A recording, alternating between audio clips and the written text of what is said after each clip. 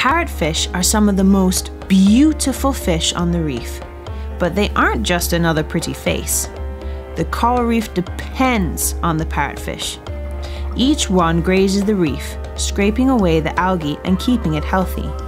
If we were to remove all the parrotfish, the algae would grow out of control, killing the coral around it. They act like lawnmowers, trimming the algae so that the coral has room to grow. As they digest the contents, sand is released in the parrotfish's waste. About 200 pounds of sand every year. Tropical coral reefs have declined by 50% in the last 40 years and are now being overtaken by algae. Studies show that the healthiest reefs in the world are those that are protected from the removal of herbivorous fish, like parrotfish. We need to protect this beautiful fish to ensure the health of our oceans. I'm Jessica Harvey for the Guy Harvey Ocean Foundation.